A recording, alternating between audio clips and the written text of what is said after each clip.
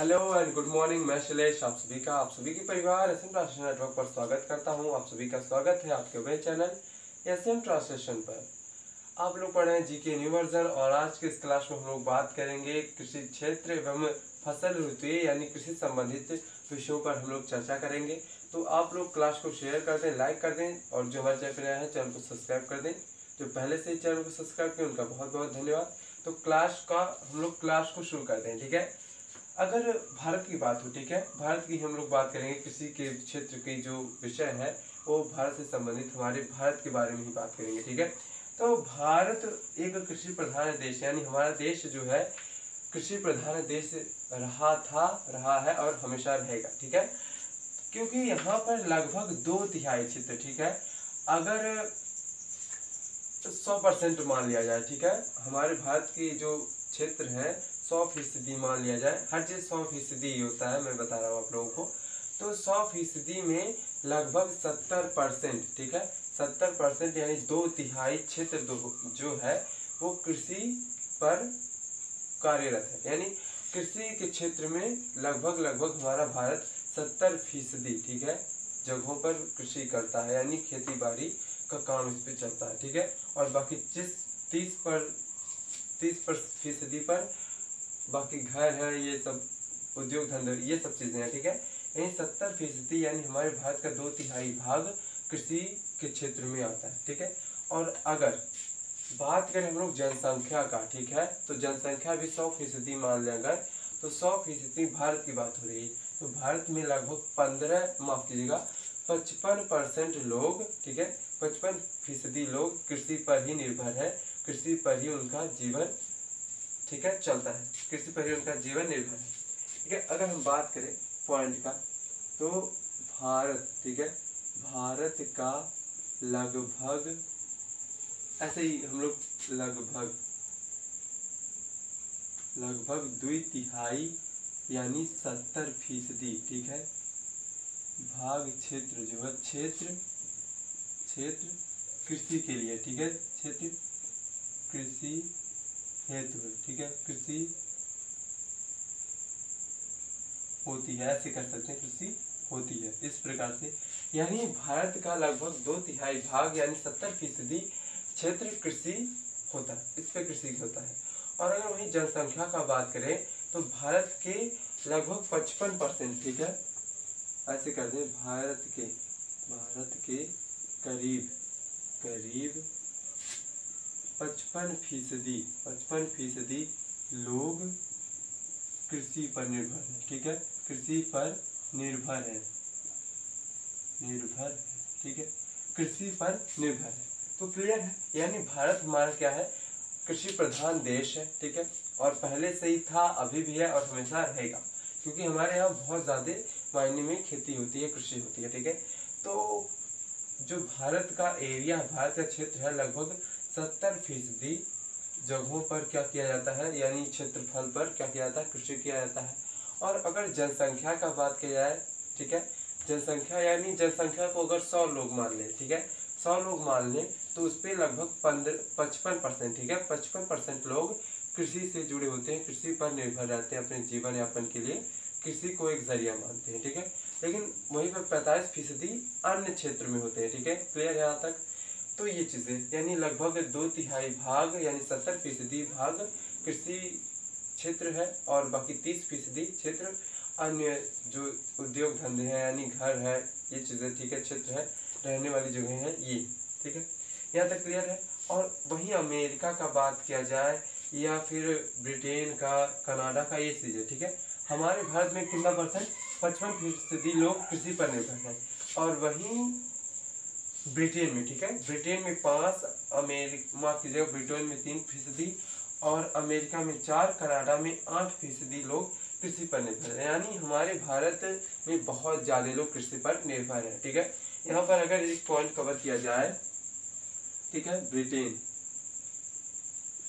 Britain में तीन फ़ीसदी, अमेरिका में, अमेरिका, ठीक है? ये जनसंख्या का बात हो रहा है। अमेरिका में चार फ़ीसदी और कनाडा, ठीक है? कनाडा में, कनाडा कनाडा में आठ फ़ीसदी लोग, आठ फ़ीसदी लोग कृषि पर क्या है? कृषि पर क्या है? निर्भर कृषि पर निर्भर ठीक है? कृषि पर निर्भर है। हमारे भारत में सबसे ज़्यादा मात्रा में कृषि पर ही निर्भर है। पैंतालीस फ़ीसदी ही लोग अन्य, ठीक है? अन्य क्षेत्रों में है, लेकिन पचपन फ़ीसदी लोग कृषि के क्षेत्र में ही कार्यरत हैं, कृषि के क्षेत्र में ये काम करते हैं, ठीक है? क्लियर है ये चीज़ें अगर बात करें भारत में कुल भूमि, ठीक है? भारत में कुल भूमि के सत्तावन दशमलव एक फ़ीसदी, ठीक है, भाग पर खेती की जाती है। ये चीज़ें ठीक है? भारत की कुल भूमि पर, ठीक है? अब अगर मैंने बताया यहाँ पर सत्तर फ़ीसदी क्या है? कृषि क्षेत्र है। लेकिन अगर वहीं पर खेती, कृषि जो होता है कृषि का अलग अलग क्षेत्र, जैसे कृषि में पशुपालन भी आता है मत्स्य पालन भी आता है और, है ना? तो कृषि का भी अलग अलग क्षेत्र होता है। लेकिन कृषि के क्षेत्र में अगर बात किया जाए, भारत के कुल भूमि में ये अलग चीज़ें ठीक है? कृषि मतलब अलग अलग चीज़ें हो सकती हैं। जैसे कृषि में पशुपालन भी आता है खेती बाड़ी भी आती है और अन्य चीज़ें, ठीक है? यानी मत्स्य पालन हो गया और ये बतख पालन हो गया। ये चीज़ें भी आती हैं कृषि पालन, कृषि के क्षेत्र में, ठीक है? लेकिन अगर बात करें भारत का अकेला ठीक है? भारत में, भारत का कुल भूमि, भारत के कुल क्षेत्र कुल क्षेत्र, ठीक है? कुल क्षेत्र पर, कुल क्षेत्र पर पर, ठीक है? एक, ये कितना हो जाएगा? सत्तावन दशमलव एक फ़ीसदी, ठीक है? सत्तावन दशमलव एक फ़ीसदी खेती के लिए, ठीक है? खेती किया जाता है, खेती किया जाता है, ठीक है? खेती किया जाता है, यानी फल सब्ज़ियाँ उगाई जाती है, ठीक है? टोटल सत्तर फ़ीसदी है। सौ फ़ीसदी हर चीज़ होता है। भारत का क्षेत्रफल मान लेते हैं सौ फ़ीसदी हो गया। तो सौ फ़ीसदी में सत्तर फ़ीसदी सिर्फ़ कृषि के लिए है, ठीक है? बाकी तीस फ़ीसदी पे घर है, ये सब इंडस्ट्री है, ये सब चीज़ें हैं, ठीक है? जंगल है, ये चीज़ें हो गई। लेकिन उन्हीं क्षेत्रों में सत्तर फ़ीसदी को अगर सौ फ़ीसदी मान लिया जाए, ठीक है? यानी अगर मान ले सौ फ़ीसदी में सिर्फ़ खेती खेती इक्यावन, माफ़ सत्तावन दशमलव एक फ़ीसदी पर किया जाता है इतने पर खेती, ठीक है? खेती का बात हो रहा है। खेती और कृषि अलग अलग चीज़ें हैं। कृषि जो होता है, समग्र, जैसे मत्स्य पालन हो गया, दूध उत्पादन हो गया, और ये चीज़ें हो गई। पशुपालन हो गया, खेती हो गया, इन सब का समग्र क्या कहलाता है? कृषि कहलाता है, ठीक है? तो लगभग सत्तावन दशमलव एक फ़ीसदी क्या होता है, उस पर सिर्फ़ खेती किया जाता है, ठीक है? क्लियर है यहाँ तक? जबकि, ठीक है? जबकि चीन में बारह परसेंट, ठीक है? चीन में, चीन के क्षेत्र पे ठीक है? चीन का अगर क्षेत्र का बात किया जाए, चीन चीन में बारह फ़ीसदी कृषि किया जाता, खेती किया जाता, ठीक है? बारह फ़ीसदी खेती किया जाता, ब्रिटेन में तेईस फ़ीसदी, ठीक है? ब्रिटेन में ब्रिटेन में तेईस फ़ीसदी। और वहीं पर अगर बात करें हम लोग अमेरिका का तो बाईस फ़ीसदी, ठीक है? अमेरिका का तो अमेरिका का बाईस दशमलव आठ फ़ीसदी क्या होता है? खेती पर खेती करते हैं, ठीक है? खेती का है, खेती का क्षेत्र है, खेती का क्षेत्र है, क्षेत्र अब सुनिए इसको। जैसे हमारे भारत का टोटल सौ फ़ीसदी में से सत्तावन फ़ीसदी टोटल सत्तर परसेंट ठीक है? सत्तर परसेंट कृषि का क्षेत्र है। लेकिन अगर हम सौ फ़ीसदी का सत्तावन दशमलव एक फ़ीसदी देखें तो उस पर सिर्फ़ खेती किया जाता है, ठीक है? मत्स्य पालन, दुग्ध उत्पादन, पशुपालन, ये अलग चीज़ें हैं, ठीक है? यहाँ तक क्लियर है? क्लियर है यहाँ तक? तो एक बार सभी स्टूडेंट क्लास को शेयर कर दें और लाइक कर दें, ठीक है? जो हमारे चैनल पे नया है चैनल को सब्सक्राइब कर दें। ठीक है? हो गया? यहाँ तक क्लियर है? यानी सत्तर फ़ीसदी जो है कृषि का क्षेत्र है, लेकिन उस सत्तर फ़ीसदी तो कृषि का क्षेत्र क्योंकि कृषि का क्षेत्र बहुत विस्तृत होता है। उसमें अगर सौ परसेंट का, सौ परसेंट यानी पूरे भारत का बात की जाए तो लगभग सत्तावन दशमलव एक फ़ीसदी सिर्फ़ खेती किया जाता है, ठीक है?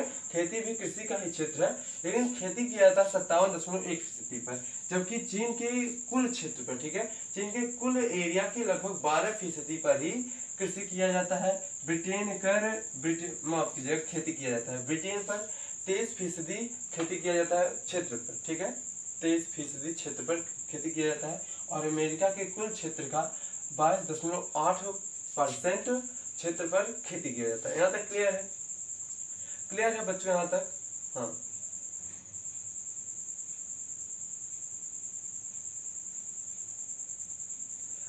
अब अगर बात करें हम लोग कृषि मतलब यहाँ हो गया, ये ये हो गया आप लोगों का।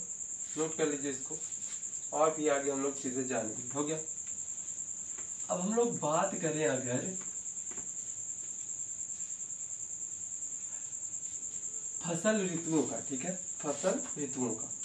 तो फ़सल ऋतुओं का अगर बात हो, फ़सल ऋतुओं का तो फ़सल ऋतुएँ जो होती हैं, भारत में प्रमुख तीन फ़सल ऋतुएँ हैं, ठीक है? भारत में या फिर, ठीक है, मुख्य रूप से भारत में कितने, तीन फ़सल ऋतुएँ हैं। ऐसे अगर कह दे, भारत में, ठीक है, भारत में मुख्य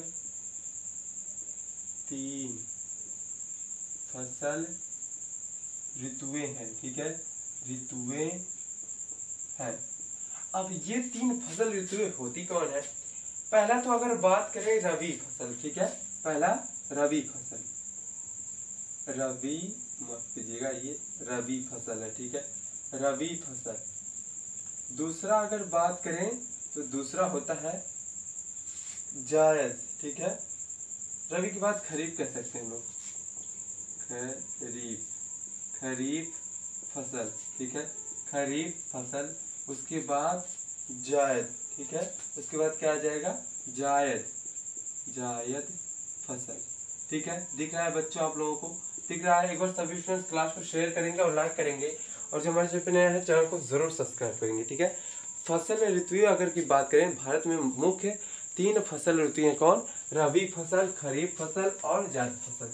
अब अगर रबी फ़सल का बात किया जाए तो रबी फ़सल जो, ठीक है, जो अक्टूबर से लेकर, अक्टूबर से लेकर अक्टूबर, ठीक है, अक्टूबर नवंबर अक्टूबर नवंबर, ठीक है अक्टूबर, नवंबर में बुआई की जाती है, ठीक है? जो रबी फ़सल होती है, वो अक्टूबर, नवंबर में बुआई की जाती है और उसकी कटाई का अगर बात करें तो उसकी कटाई जो है मार्च, अप्रैल में हो जाती है, ठीक है? मार्च, अप्रैल में, ठीक है? मार्च, अप्रैल मार्च, अप्रैल, ठीक है? मार्च, अप्रैल, यानी जो रबी फ़सल होती है, अक्टूबर, नवंबर माह में बोई जाती है और मार्च, अप्रैल तक जाते जाते कट जाती है फ़सल, ठीक है? और इस फ़सल में क्या क्या आता है? इस फ़सल का बात करें तो इसमें क्या आता है? तिलहन आता है, ठीक है? तिलहन यानी सरसों आ गया, ठीक है? सरसों आ गया मान लेते हैं। आ गया गेहूँ गेहूँ, चना चना, मक्का, ठीक है? मक्का, चना, गेहूँ, ये सब चीज़ें, ठीक है? क्लियर है? जौ, मक्का तो नहीं हो सकता है कि नहीं? लेकिन मक्का नहीं सकता है। जौ हो गया, ठीक है? जौ हो गया, और ये चीज़ें, ठीक है? ये चीज़ें क्लियर है यहाँ तक? क्लियर है? तो जो सरसों हो गया, गेहूँ हो गया, चना हो गया, जौ हो गया, या फिर दाल दाल मतलब ये चीज़ें हो गई। चना तो दाल में ही आएगा, मटर भी हो गया, ठीक है? मटर, यानी मूंग मूंग जो होता है, वो जब सब चीज़ें होती हैं, ठीक है? यानी अक्टूबर, नवंबर में जो चीज़ें बोई जाती है और मार्च, अप्रैल में जब कटती है तो रबी फ़सल के श्रेणी में आती है, ठीक है? और ये जो सरसों हो गया, गेहूँ हो गया, चना हो गया, दाल हो गया जव हो गया, ये मटर हो गया, ये सब चीज़ें क्या होती है? रबी फ़सल में आती है। अब खरीफ फ़सल का बात करें तो खरीफ फ़सल जो होता है, ठीक है, इसके इसके बीच का क्या होता है? ये रबी फ़सल होता है। लेकिन अगर खरीफ फ़सल का बात करें तो जून, जुलाई में बोई जाती है, ठीक है जून, जुलाई में बोई जाती है। जून और जुलाई में, ठीक है? जून, जुलाई तक बोई जाती है और ये जाके क्या होता है? ये बच्चों जाके कहाँ तक खत्म हो जाता है? अक्टूबर, नवंबर तक जाती जाती खत्म हो जाता है, ठीक है? अक्टूबर, नवंबर, ठीक है? अक्टूबर, नवंबर। अक्टूबर, नवंबर तक इसका अवधि होता है। जून, जुलाई में इसका बुआई किया जाता है। यानी अगर हम बात करें धान, ठीक है? जैसे धान हो गया, जून, जुलाई में इसका रोपण हो जाता है और जाके ये अक्टूबर, नवंबर तक जाते जाते काट लिया जाता है। तो इसके फ़सल का बात करें तो इसमें क्या आ जाता है? धान आ जाएगा। धान मतलब चावल, ठीक है? चावल हो गया, इसमें आ जाएगा मक्का, ठीक है? इसमें मक्का आ जाएगा, ठीक है? मक्का भी होता है उसी समय। और क्या हो जाएगा? ज्वार हो जाएगा, बजरा हो जाएगा, इस प्रकार का। ज्वार हो जाएगा बजरा बजरा हो जाएगा। और यहाँ पर और एक चीज़ हो सकता है। यहाँ पर हम लोग क्या कर सकते हैं? कर सकते हैं उर्द, ठीक है? उड़द, उर्द। उर्द जो होता है बच्चों, उर्द जून, जुलाई में भी बोया जाता है और बाकी फरवरी माह में भी बोया जा सकता है। फरवरी, मार्च के माह में भी बोया जा सकता है, ठीक है? क्लियर है? ये चीज़ें। और अगर जायद का बात किया जाए तो जायद तो होता है ये फरवरी, ठीक है? फरवरी, अप्रैल के मध्य बोआई जाती है। इसका अगर बात करें, फरवरी, ठीक है? फरवरी, अप्रैल। फरवरी, मार्च कर सकते हैं, फरवरी, मार्च। ठीक है? फरवरी, मार्च में बोया जाता है और ये जाते जाते हमारा जून, मई, जून तक खत्म हो जाता है, ठीक है? मई, जून तक, मई, जून, ठीक है? मई, जून तक क्या हो जाता है? इसकी अवधि समाप्त हो जाती है। क्लियर है यहाँ तक? यानी जैसे इसमें हो गई हरी सब्ज़ियाँ। जितनी हरी सब्ज़ियाँ उगाई जाती हैं, वो क्या होती हैं? जायद की फ़सल होती है, ठीक है? हरी सब्ज़ियाँ, ठीक है? हरी सब्ज़ियाँ किसकी फ़सल हो जाएँगी बच्चों? हरी सब्ज़ियाँ जायद की फ़सल हो जाएँगी और इस प्रकार का, ठीक है? क्लियर है? रबी फ़सल क्या होता है? अक्टूबर से नवंबर के मध्य बोया जाता है और मार्च, अप्रैल के मध्य काटा जाता है, ठीक है? जैसे यहाँ पर और एक चीज़ ठीक है, यहाँ पर क्लियर है। और अगर बात करें यहाँ पर खरीफ फ़सल का तो यहाँ पर एक चीज़ और हो सकता है। एक चीज़ अरहर, ठीक है? अरहर भी हो सकता है, अरहर, ठीक है? अरहर क्योंकि अरहर जो होता है, जून, जुलाई माह में बोया जाता है। और ये जो होता है, लेकिन ये जो अरहर है, ये जाफी क्या करता है? रबी फ़सल में करता है। बोया तो जाता है खरीफ में, लेकिन करता किसमें है? रबी फ़सल में। क्लियर है यहाँ तक? तो जो खरीफ फ़सल है, वो जून, जुलाई में बोई जाती है और अक्टूबर, नवंबर में काट ली जाती है। जैसे धान हो गया, मक्का, ज्वार, बजरा, उर्द, लेकिन अरहर जो है, खरीफ में बोई जाती है, रबी में कटती है, ठीक है? जायद फ़सल का बात करें तो फरवरी, मार्च में बोई जाती है और ज़्यादा से ज़्यादा जाते जाते मई, जून, जुलाई तक वो क्या होती है, ख़त्म हो जाती है। जैसे कि हरी सब्जियों की बात हो गई। क्लियर है यहाँ तक? यहाँ तक क्लियर है? ये चीज़ें हो गई क्या? प्रमुख ऋतु फ़सल की ठीक है? यहाँ तक क्लियर है? नोट कर लीजिए जल्दी से। नोट क्या करना आप लोग वीडियो को रोक कर नोट कर सकते हैं। ठीक है? कहते हैं प्रमुख फ़सलें। अगर प्रमुख फ़सलें का बात करें, फ़सलों का टाइप का बात करें तो जैसे खाद्यान्न फ़सलें हो गया, व्यवसायिक फ़सलें हो गया, पेय फ़सलें हो गया, रेशेदार फ़सलें हो गया, उनके बारे में चर्चा कर लेते हैं, ठीक है? ये हो गया। हम्म। तो ये चीज़ें होती हैं।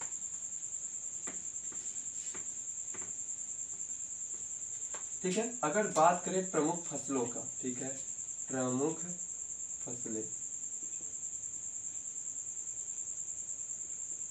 फ़सलें, यानी प्रमुख फ़सलें, यानी कौन से फ़सलें जो होती हैं, मुख्य भूमिका निभाती हैं क्या क्या योगदान देती हैं, ये चीज़ों पर अगर हम लोग चर्चा करें तो प्रमुख फ़सलों पे पहला अगर बात करें, खाद्यान्न फ़सलें, ठीक है? खाद्यान्न फ़सलें। खाद्यान्न खाद्यान्न फ़सलें, ठीक है? खाद्यान्न फ़सल कह सकते हैं खाद्यान्न फ़सल। और ये फ़सल, फलस हो गया, ठीक है? फ़सल। ये चीज़ हो जाती है, ऐसी बात नहीं है। खाद्यान्न फ़सल का बात करें तो चावल, गेहूँ, मक्का, ठीक है? यहाँ पर अगर कहें, चावल, गेहूँ, मक्का, ठीक है? चावल, गेहूँ, मक्का, उसके बाद जौ, ठीक है? दाल ज्वार ज्वार जौ ठीक है? बाजरा, ठीक है? ये चीज़ें और बची रागी, ठीक है? दालें, दाल हो गया, दाल हो गया। रागी कोई फ़सल होती है, रागी हो गया। और वहीं पर बात, ठीक है? ये जो फ़सलें हैं, ये खाद्यान्न फ़सलें हैं, क्योंकि ये जो हाँ फ़सलें, यहाँ पर फ़सलें होना चाहिए था। खाद्यान्न फ़सलें, ये खाने वाली चीज़ें हैं, ठीक है? ये खाने वाली चीज़ें हैं, इन्हें हम लोग खाते हैं दैनिक जीवन में। अगर करें व्यवसायिक फ़सलों का, यानी व्यवसायिक, यानी ये खाने के उद्देश्य से बोया जाता है, ठीक है? हालाँकि अगर बड़े पैमाने पर उसका उत्पादन हो गया तो उसे हम लोग व्यवसायिक रूप में भी इस्तेमाल कर सकते हैं, ठीक है? तो अगर व्यवसायिक फ़सलें का बात करें, ठीक है? व्यवसायिक।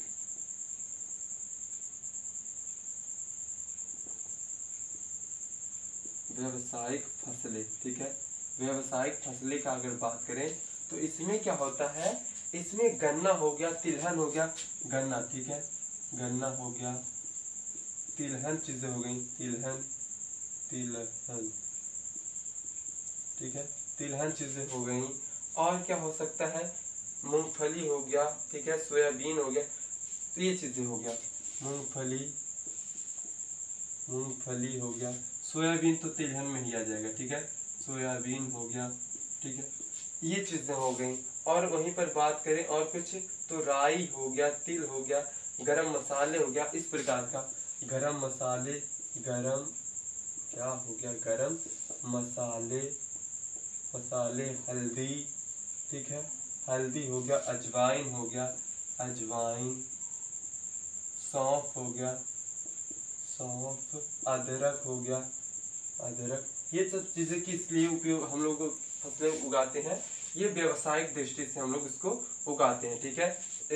हरी सब, मतलब सब्ज़ियाँ हो गई ये चीज़ें समझ में आया ना? सब्ज़ियाँ हो गई बड़े पैमाने पर सब्ज़ियाँ भी इसी पे लिख सकते हैं। सब्ज़ियाँ हो गया फल हो गया ठीक है? रबर हो गया रबर का भी खेती किया जाता है है कि नहीं? तो ये चीज़ें क्या है? व्यवसायिक फ़सलें हैं। खाद्यान्न फ़सलें जो हम उगा उगाते हैं खाने की दृष्टि से यानी अपने लिए, अपने खाने की दृष्टि से उगाते हैं। उसे क्या कहते हैं? व्यवसाय खाद्यान्न फ़सलें कहते हैं।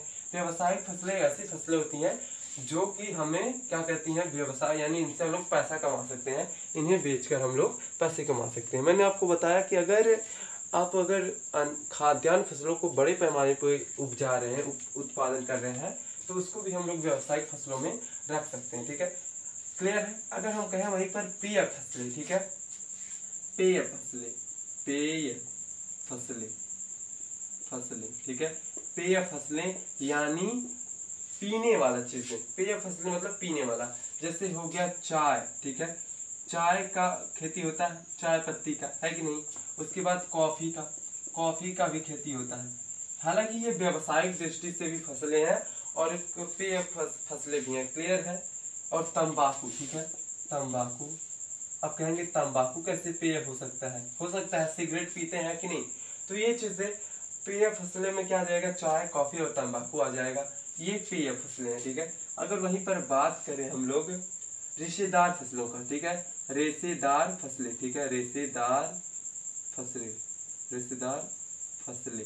दिख रहा है बच्चों आप लोगों को रेशेदार फ़सलों का अगर बात किया जाए तो कपास, जूट, सन, पटु पटुआ, ठीक है ये चीज़ें कपास कपास, ठीक है, कपास इससे क्या होता है गद्दा और रुई यही चीज़ें ठीक है। जूट जूट, ठीक है, बच्चों, जूट हो गया, पटुआ हो गया, पटुआ। अच्छा आप लोग सूतरी देखे हो, सूतरी, जिसका वो जूट वाला बोरा बनता है, या फिर किसी चीज़ को सिलने के लिए सूतरी का काम पड़ता है ना तो वो पटुआ का ही बनता है, ठीक है, पटुआ का बनता है। उसको क्या करते हैं, हमारे यहाँ पहले होता था कि वैसे भिंडी की जितनी बड़ी बड़ी भिंडियाँ होती हैं, उतनी बड़ी बड़ी वो भी होते हैं, उनका डांट ठीक है? उनका जो प्लांट होता है, उतने बड़े बड़े होते हैं।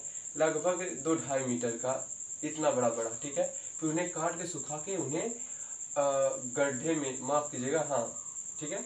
पोखरा हो गया, तालाब होगा उसी में जाके डाल देते हैं। जब तक वो सड़ता है, जितना ही सड़ेगा, उतना ही वो पटुआ अच्छे से उसमें से रेसे निकलेगा, ठीक है? मेस्टा हो गया, ये चीज़ें। मेस्टा ठीक है?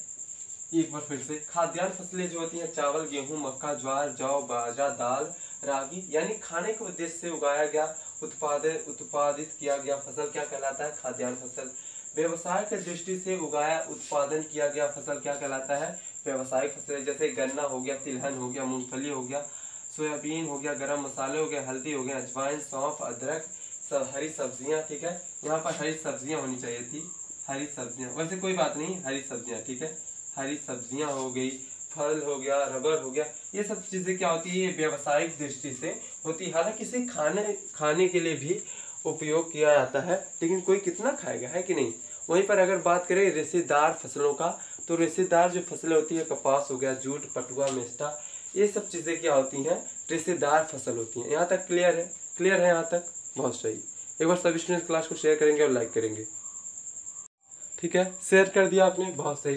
तो ये चीज़ें हो गई। यहाँ तक क्लियर है? आगे बढ़ते हैं, ठीक है? यहाँ तक क्लियर है?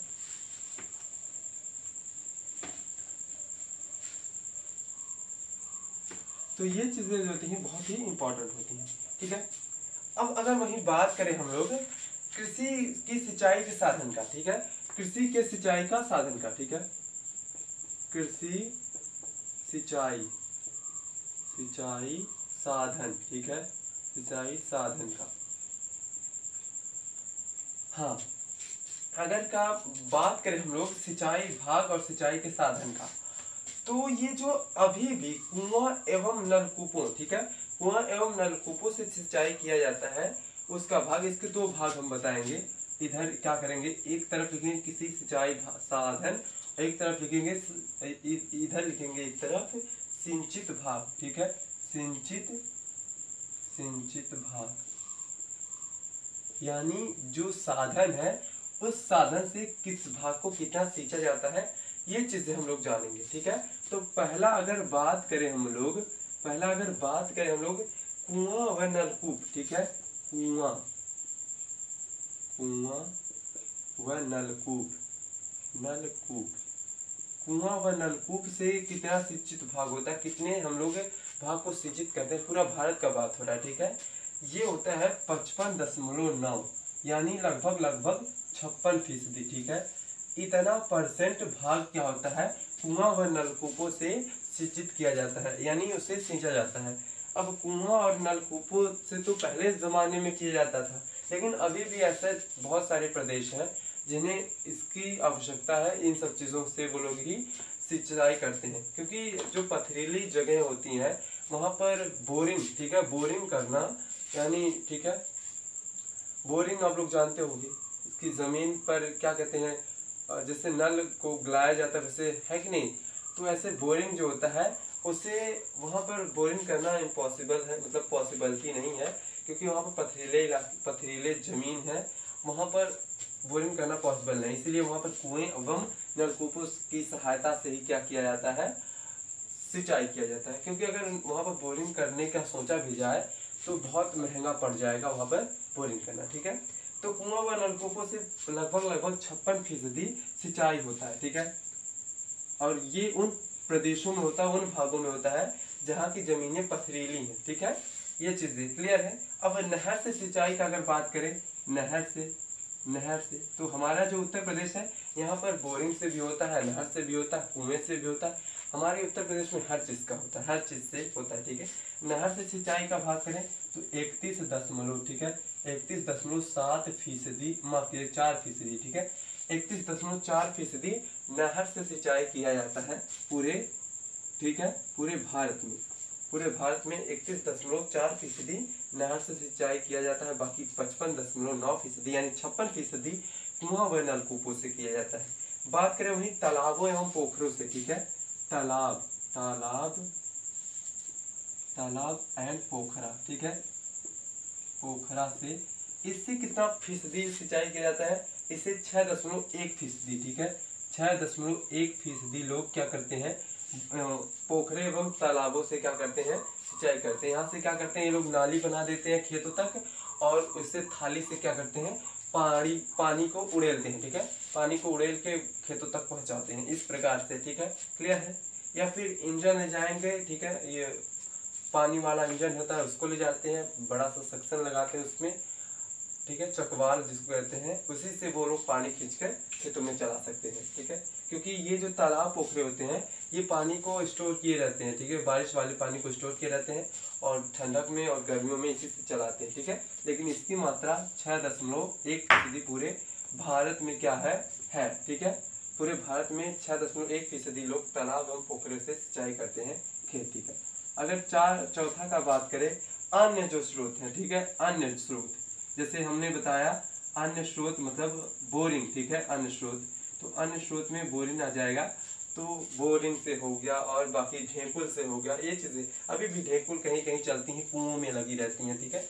तो कुएँ वाला तो ऊपर मैंने बता ही दिया। तो अन्य स्रोत जो है, वो छः दशमलव छः फ़ीसदी, ठीक है?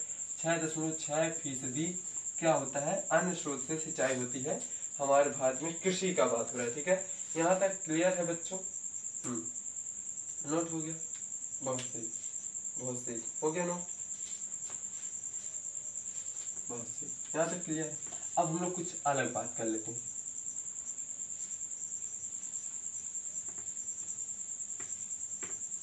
कुछ अलग बात करने का मतलब हो गया। अब हम लोग जैसा कि ये सब चीज़ें जाने, ठीक है? ये चीज़ें हम लोग जान गए यहाँ पर। क्लियर है क्लियर है? अब कृषि के यहाँ प्रकार भी आते हैं, ठीक है? कृषि के प्रकार के बारे में हम लोग चर्चा करेंगे। कृषि के प्रकार, कृषि के प्रकार। यानी कृषि का कौन कौन सा प्रकार होता है? मैंने बताया ना कृषि का प्रकार खेती भी हो गया, पशुपालन भी हो गया, माफ़ कीजिएगा मत्स्य पालन हो गया, पशुपालन हो गया, दुग्ध उत्पादन हो गया, ये भी कृषि का ही क्षेत्र हो गया, ठीक है?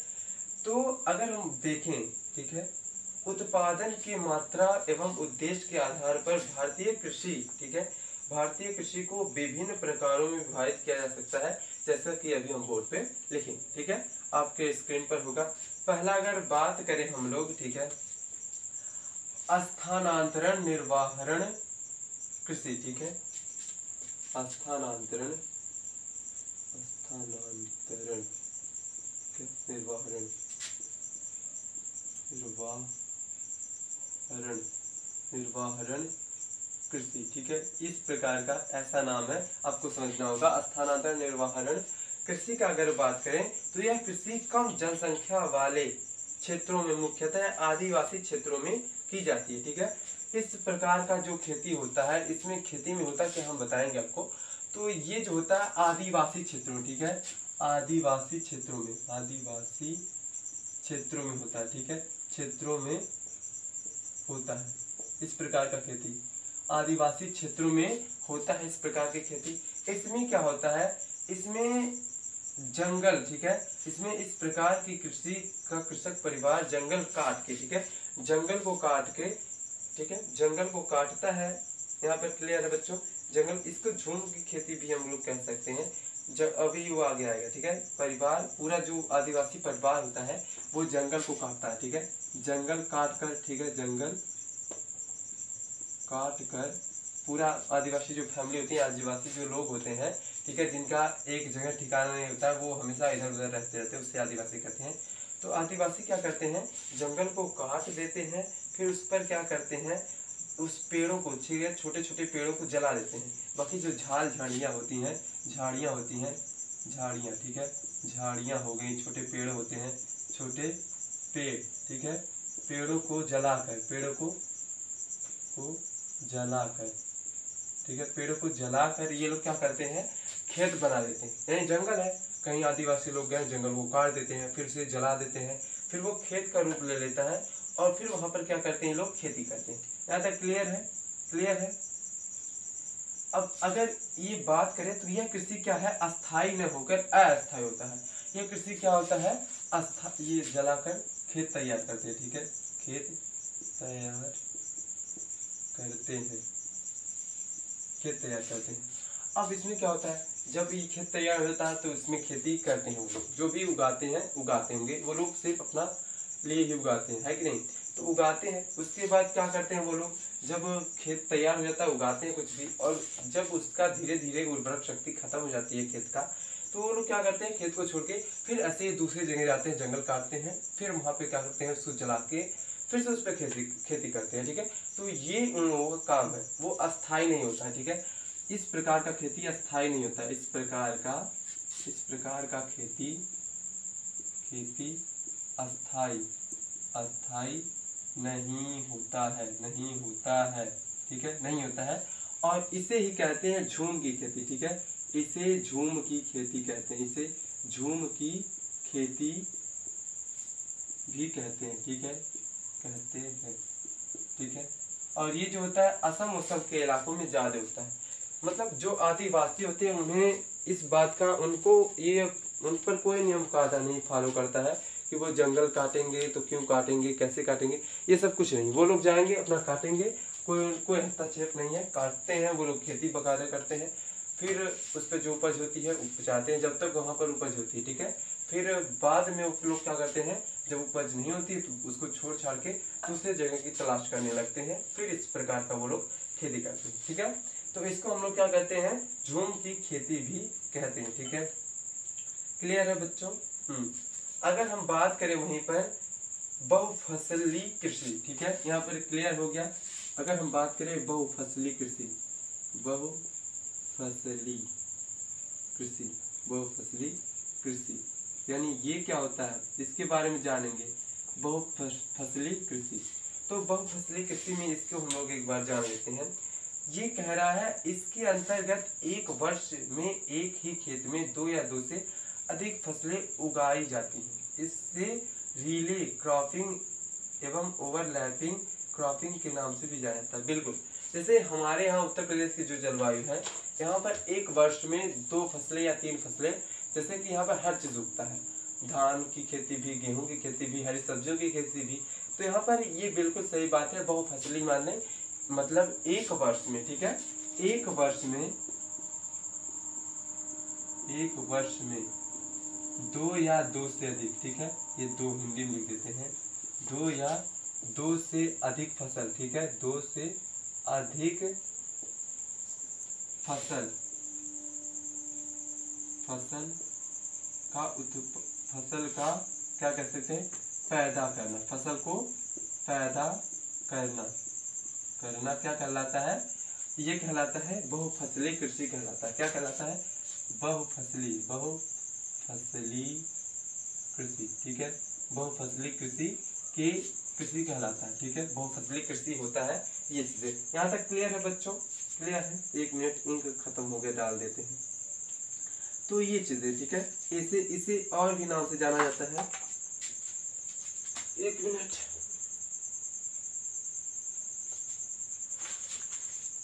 हाँ तो इसे किस नाम से जानते हैं? आप लोग नोट कर लीजिए। इसे और एक इसे और एक दो नाम से जानते हैं। क्या क्या क्या नाम से? पहला तो हो गया बहुफसली नाम, ठीक है? क्योंकि यहाँ पर बहुत बहुत फ़सल का क्या होता है? पैदा किया जाता है तो इसे क्या हो जाएगा? ये बहुफसली हो गया। अगर वहीं बात करें, इसका क्या और नाम हो जाएगा? तो इसका नाम हो जाता है ओवरलैपिंग ठीक है? ओवरलैपिंग क्रॉपिंग ठीक है? ओवरलैपिंग क्रॉपिंग एंड एक और चीज़ कह सकता है रिले क्रॉपिंग ठीक है? रिले क्रॉपिंग और ओवरलैपिंग क्रॉपिंग भी होता है, ठीक है? क्लियर है बच्चों? क्लियर है? अभी हम लिख लेते हैं। फ़िलहाल अभी इंक डाल दी। तो ये चीज़ें होती हैं।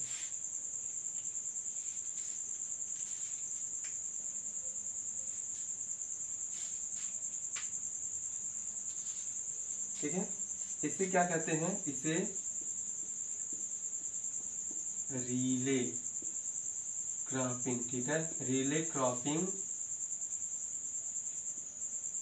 and over overlapping lapping overlapping cropping ठीक है? क्रॉपिंग भी कहते हैं, ठीक है? भी कहते हैं। यहाँ तक क्लियर है? यहाँ तक क्लियर एक बार सभी स्टूडेंट्स क्लास को शेयर करेंगे। और लाइक करेंगे। जो हमारे चैनल पे नया है, चैनल को ज़रूर सब्सक्राइब करना ना भूलें, ठीक है? चैनल को जब आप लोग सब्सक्राइब करते हो तो एक अंदर से क्या होती है कि हाँ बच्चों को समझ में आ रहा है मतलब लाइक करते हैं आप चैनल को सब्सक्राइब करते हैं तो एक हौसला बढ़ता है कि नहीं? यहाँ तक क्लियर है? हाँ नोट हो गया इसे। आर्य फ़सलें हम जानेंगे। अभी तो दो ही प्रकार हो गया। स्थानांतरण, निर्वहरण, कृषि, यानी कि झूम की झूम की खेती इसको भी कहा जाता है। इसको झूम की खेती भी कहा जाता है। और एक दूसरा होता है बहुफसली विधि। माफ़ कीजिएगा, बहुफसली कृषि, ठीक है? यहाँ तक क्लियर है?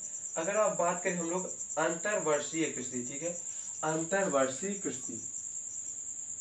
अंतरवर्षीय। अंतरवर्षीय कृषि।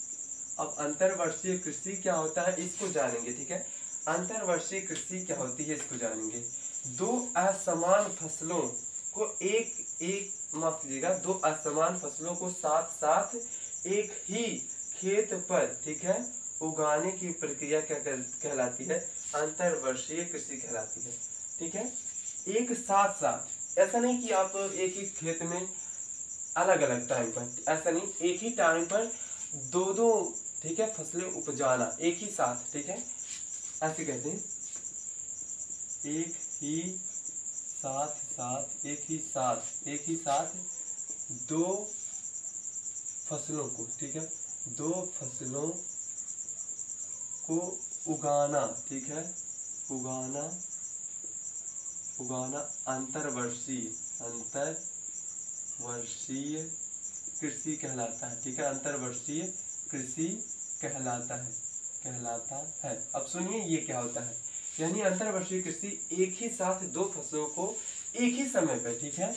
एक ही समय पर, एक ही समय पर समय पर, ठीक है?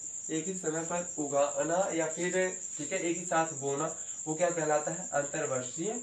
क्या कहलाता है बच्चों? क्या कहलाता है ये? अंतरवर्षीय कृषि कहलाता है। अब इसमें अगर बात करें तो ये होता कैसे है?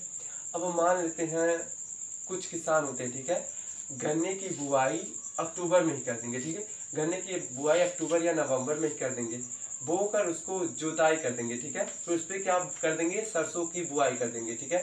तो जब तक गन्ना जामे, उस पर ठीक है, गन्ने का अंकुरित होगा गन्ना, तब तक वो क्या हो जाएगा? सरसों बड़ा हो जाएगा, ठीक है? जब तक गन्ने का समय आएगा जामने का या फिर जमाव का, तब तक हो सकता है सरसों हो जाए। फिर सरसों को काट के उसके बाद आ जाता है। सरसों देखिए, अक्टूबर, फरवरी में ही कट जाता है। तो तब तक गन्ना छोटा छोटा बड़ा बड़ा मतलब छोटे छोटे रूप में निकला रहेगा। तो उसकी जुताई करके फिर उसको चढ़ा देंगे। तो इस प्रकार की क्या हो जाएगी? वो अंतर्वर्षीय कृषि कहलाती है। यानी एक ही समय पर दो दो कृषियों को दो दो खेत दो दो फ़सलों को उगाना। ठीक है? क्लियर है? अब अगला अगर बात करें, यहाँ तक क्लियर है। टांग्या प्रणाली। ठीक है? टांग्या प्रणाली का अगर बात करें टांग्या प्रणाली। ठीक है? टांग्या प्रणाली। अब ये क्या प्रणाली है भाई? टांग्या प्रणाली। इसको अगर देखा जाए तो वन विभाग द्वारा विकसित, ठीक है? वन विभाग द्वारा विकसित यह फलोत्पादन, ठीक है? फलोत्पादन एवं वन प्रबंधन की एक संयुक्त प्रणाली है। इसके अंतर्गत बिना किसी लगान के कृषकों को एक निश्चित समय हेतु भूमि दी जाती है, जिस पर वे कृषि के साथ साथ वृक्षारोपण भी करते हैं, ठीक है? टांग्या प्रणाली एक ऐसा प्रणाली प्रणाली है जिसमें, ठीक है, जिसमें वन विभाग, ठीक है, वन विभाग वन विभाग क्या करता है? उनको ज़मीन देता है। वन विभाग कृषकों को क्या करता है? कृषकों को बिना लगान बिना लगान बिना लगान ठीक है? बिना लगान ज़मीन। ज़मीन देता है देता है, ताकि ताकि वो वृक्षारोपण, वृक्षा, ठीक है? वृक्षारोपण, रोपण करके करके फल उत्पादन करे, ठीक है? फल उत्पादन कर, इस प्रकार का, ठीक है? यानी जो फल उत्पादन वाली प्रणाली है, जैसे किसी के पास खेत नहीं है तो उसको सरकार क्या करेगी? वन विभाग क्या करेगा? उसको ज़मीन देगा, ठीक है? तो उस ज़मीन का वो कोई किराया नहीं लेगा सरकार, बल्कि आपको क्या करेगा? आप उसको उस पर आप फल उपजाएँगे, जितने वर्षों का अग्रीमेंट हुआ रहेगा उस हिसाब से, ठीक है? तो उस पर आप पेड़ लगाएँगे तो उसका जो फल होगा उससे आप बेचेंगे। सरकार का उससे फ़ायदा होगा कि नहीं, वो तो बात की बात है। तो उसे सरकार इसलिए ऐसा करती है कि उस पर वृक्ष लगाया जाए। ताकि हमारा पर्यावरण ठीक रहे, ठीक है? और वो वृक्ष लगा के कृषि के क्षेत्र में क्या होगा, उनका उन्नति होगा, ठीक है? फल की बढ़ोतरी होगी, वृक्षारोपण करके क्या करेंगे? फलों की आपूर्ति की जाएगी, ठीक है? क्लियर है? टांग्या, प्रणाली, ये चीज़ें होती हैं। यहाँ तक क्लियर है? अब अगर बात करें शुष्क कृषि का, ठीक है? शुष्क कृषि शुष्क कृषि का। अब ये शुष्क कृषि क्या है? इसको देखिए, ठीक है? शुष्क कृषि का अगर बात किया जाए तो सिंचाई के साधन के अभाव वाले क्षेत्रों ठीक है? सिंचाई के अभाव वाले क्षेत्र जो होते हैं, जहाँ पर सिंचाई का व्यवस्था नहीं होता है, उन क्षेत्रों में जहाँ 50 सेंटीमीटर से कम वर्षा होती है। यानी बारिश वहाँ पर लगभग लगभग होती ही नहीं है, इस प्रकार की। होती है, लेकिन कम मात्रा में, ये चीज़ें देखा जाए, ठीक है? हाँ तो क्लियर है बच्चों? यानी ऐसे क्षेत्र जहाँ पर क्या हो कि बारिश की संभावना ना हो, ठीक है? यहाँ पर अगर देखा जाए, बारिश या पानी, ठीक है? बारिश या सिंचाई सिंचाई के अभाव वाले क्षेत्र, अभाव वाले क्षेत्र वाले क्षेत्र, ठीक है? सिंचाई या बारिश के अभाव वाले क्षेत्र जो होते हैं, उन क्षेत्रों में, ठीक है? उन क्षेत्रों में क्या किया जाता है? जो कृषि किया जाता है, उसके, ठीक है, जो कृषि किया जाता है, जैसे मान लेते हैं बारिश नहीं हुआ ज़्यादा तो वहाँ पर क्या हो जाए, जैसे अरहर है, ठीक है? अरहर के लिए हमें क्या होता है कि ज़्यादा बारिश की आवश्यकता नहीं होती है, ठीक है? मतलब उन्हें एक बार जमा हो गया तो वो खुद ब खुद अपना सोर्स ले लेता है पानी का, ठीक है? तो ये जो चीज़ें होती हैं, ऐसी जगह जहाँ पर बारिश और सिंचाई का अभाव होता है, यानी कम मात्रा में होती है तो वहाँ पर जो कृषि किया जाता है, ठीक है? वहाँ जो कृषि होता है, वहाँ जो कृषि होता है, ठीक है? कृषि होता है होता है, उसे क्या कहलाता है? शुष्क कृषि कहते हैं। शुष्क कृषि कहते हैं। अब देखिए, जैसे हो गया मटर हो गया, या फिर कह लें चना हो गया, अरहर हो गया, इन सब चीज़ों के लिए क्या करते हैं? पानी की ज़्यादा संसाधन की आवश्यकता, पानी की आवश्यकता नहीं हो गया सरसों हो गया मानते हैं। सरसों में भी एक पानी ठीक है? अरहर हो गया वहाँ पर भी एक पानी। एक मतलब पानी नहीं रहेगा ज़्यादा मात्रा में तभी वो हो जाएगा ठीक है? ये चीज़ें होती हैं। वहाँ पर क्या है? कृषि की जाती है उसको क्या कहते हैं? शुष्क कृषि कहते हैं ठीक है? अगर हम बात करें यहाँ तक क्लियर है? हम्म।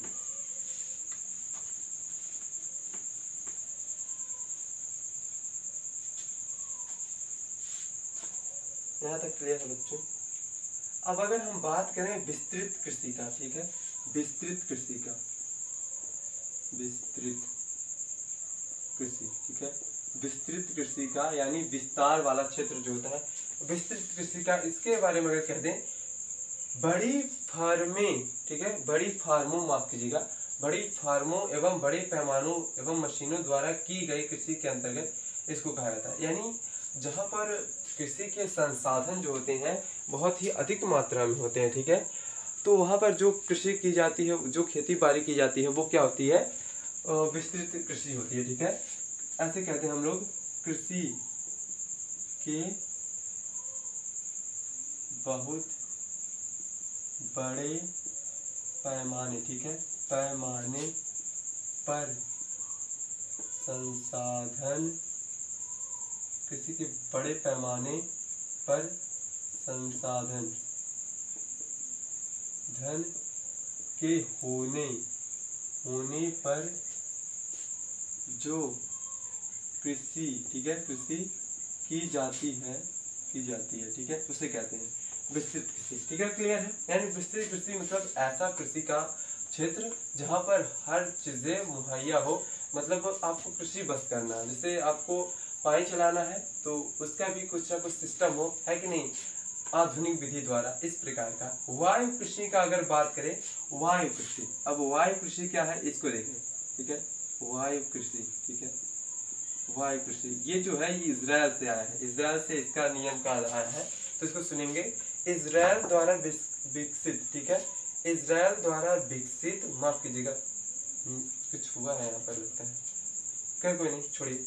इसराइल द्वारा विकसित, ठीक है? इसराइल द्वारा विकसित प्रणाली में बंद डिब्बों में बीज उगाया जाता है, ठीक है? जिसे पौधे की जड़ें अनावृत रहती हैं। इन जड़ों को पानी कंप्यूटराइज चलित फुहारों से दिया जाता है, ठीक है? इस प्रकार का।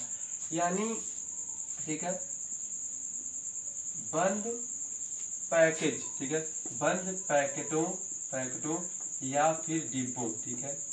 या डिब्बों में पौधों, ठीक है?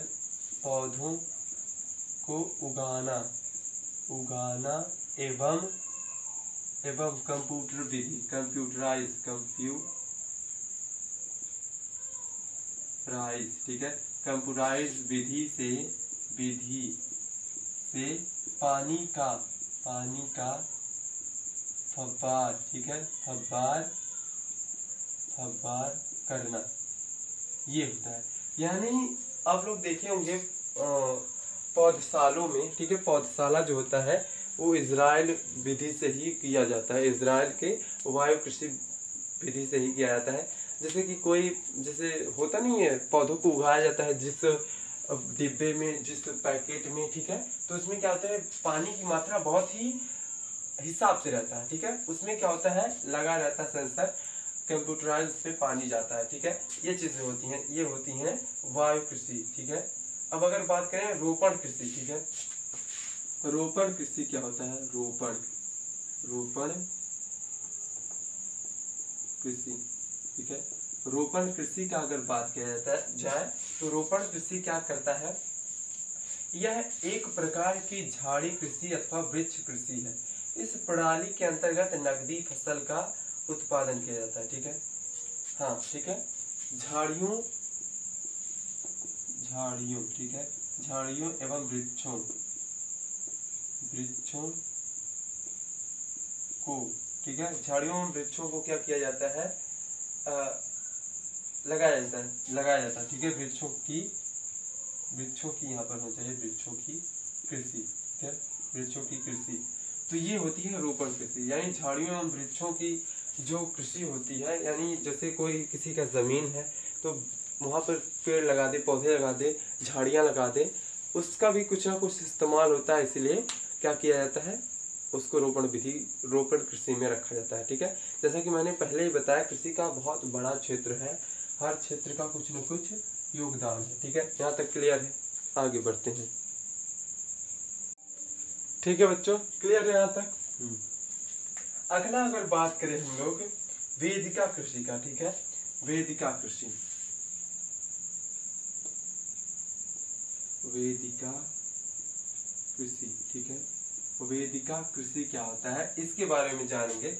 तो वेदिका कृषि का अगर बात करें, ठीक है? तो ये जो होती है, भूमि की ढाल की आड़ी दिशा में, ठीक है? भूमि को ढाल किया जाता है, ढालू किया जाता है। भूमि की ढाल की आड़ी दिशा में बनाई गई वेदिका पर की जाने वाली कृषि को हम लोग क्या कहते हैं? वेदिका कृषि कहते हैं? ठीक है? भूमि। भूमि की ढालू। ढालू। ढालू एवं आड़ी दिशा, ठीक है? एवं आड़ी दिशा। दिशाओं, ठीक है? दिशा पर की जाने वाली खेती? पर की जाने वाली खेती। की जाने वाली कृषि, ठीक है? पर की जाने वाली कृषि।